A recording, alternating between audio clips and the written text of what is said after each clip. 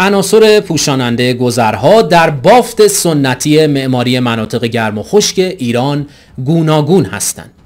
این پوشش ها یا به صورت باریکتاق یا همون تویزه با چفت مازه دارند که نقش پشتبندهای سازه‌ای رو دارن و دیوار دو طرف گذر رو حفاظت می‌کنن یا با چفت تیزه دارن این تویزه ها یا تکی ساخته شدن یا چندگانه هستند که حتی این نمونی چندگانه هم نمی‌تونه ثابات محسوب بشه.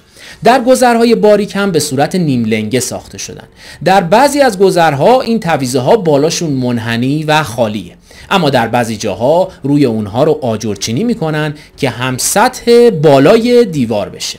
حالا می‌رسیم به فضاهای طولانی در گذرها که بهشون سابات میگن و فضای خنک برای استراحتن. البته استفاده دیگه هم دارن.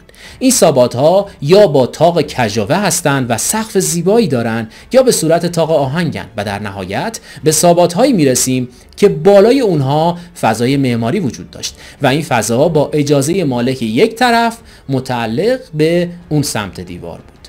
یک نمونه در دو طرفش باز شده داشت بعدی در یک سمت ایوان و بازشو داشت و در سمت دیگه فقط یک بازشو داشت. نمونه آخرم در دو سمت خودش ایوان و بازشو داشت.